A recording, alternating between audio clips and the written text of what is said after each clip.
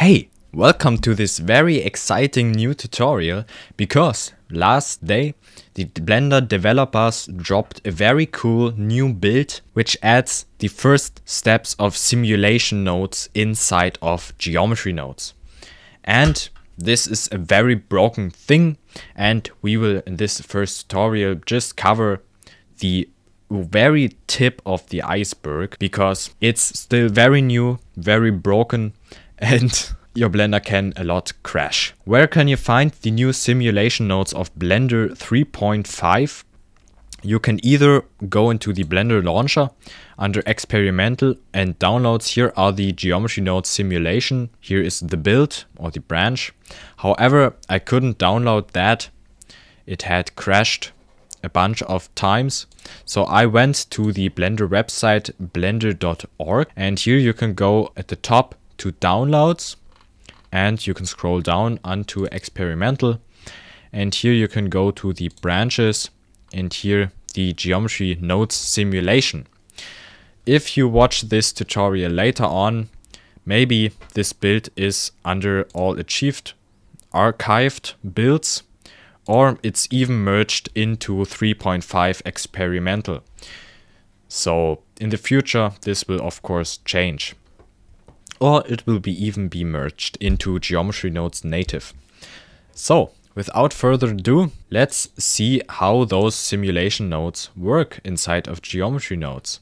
For this, I go into my download build here and I'll open the Blender version. In here, everything is usual as usual and we can delete everything. We don't need it. And for now, we want to add an icosphere.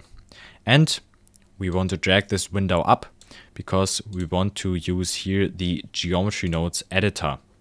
We drag another window up for the timeline because the timeline is now, you need the timeline now for the simulation. I can close this window here, I don't need it.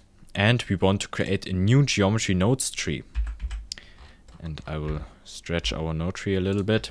And for adding new nodes, you can press Shift A or you can go here onto the add menu and at the first glance we can see here the simulation submenu. This is something new and very powerful. In here we have the simulation input. You can drag that onto your timeline and we have the simulation output and you can see a little frame appears and this is just saying what simulation nodes are together and what they affect in between. But how do they now work? So as said, those are very, very new and a lot can change since this tutorial. As I understood it, geometry nodes goes through our node tree and we've changed something here in between. But then on the next frame, it saves this, what it has done to your geometry and it does it again over and over again. So, for example, we can use a simple transform node and we can we can plug it in here between and if we hit play nothing happens. And this is because we have changed nothing. So if we change the y-axis to 1, what can we see? Our icosphere rotates a little bit. And this is because on the first frame, geometry nodes looks at our node tree that is in between the simulation nodes because only those two get looped because only those things that are in between those two simulation nodes get looped. That's because we have this frame here that tells us what is affected by the simulation nodes. And then it sees this transform node and it applies one degree in the y direction in rotation. Then it saves this information in our output node. And then on frame 2, it has saved the 1 degree and it goes over again and it adds again 1 degree. So we are now at 2 degree rotation. And this goes on and on. And this is basically the simulation or the loop nodes in geometry nodes and we can do a bunch of effects with them.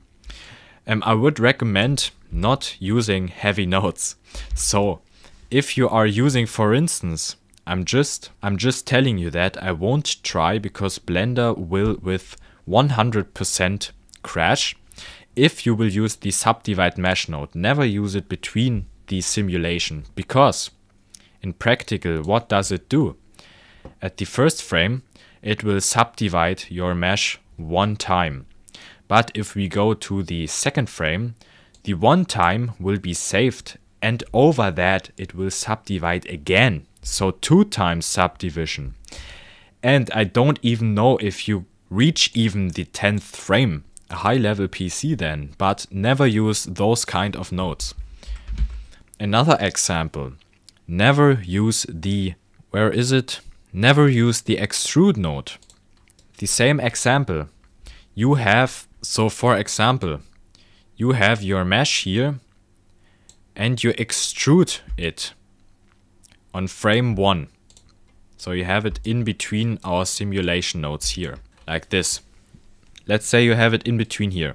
At frame 1, you extrude it. Then those information get cached, but then you go onto frame 2 and the first extrusion was remem remembered by geometry nodes, but now it sees again an extrusion and it extrudes another time.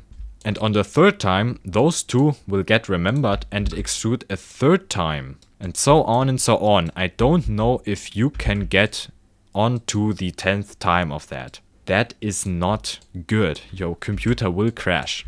So don't use heavy nodes with that if you understand what this system is for. It's just for looping your data or your manu manipulation that you do in here.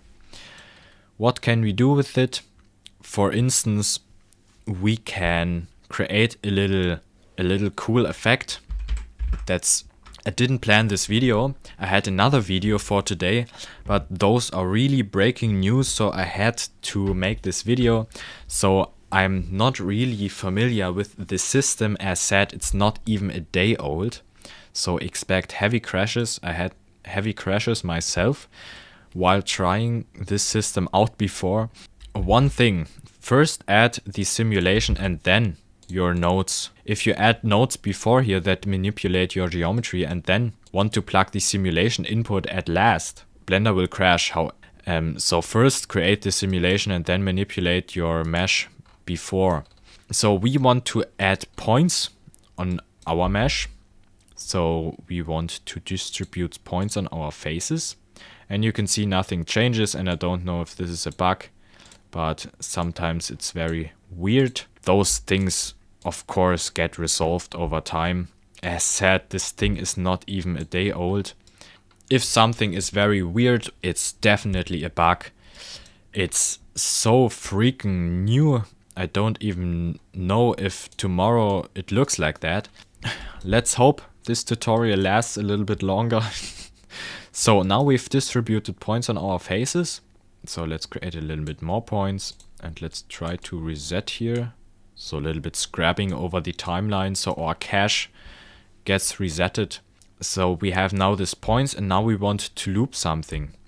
What do we want to loop? So we want to change the position of our objects. So in the geometry submenu, the set position node.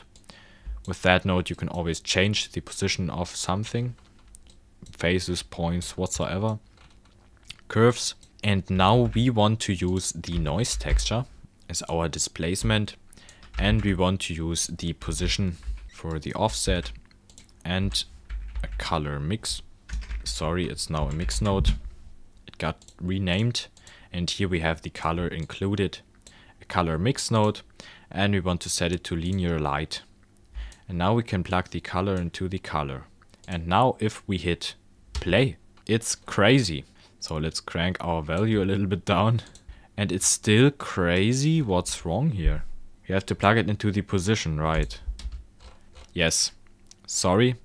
That was a stupid mistake. We have to use of course a new position and we don't want to add this to the position bit because then every frame it gets added to the position so it's just exploding we don't want that we want to update our position every time and now you can see we can create really nice pattern and this is of course better seeable with more points.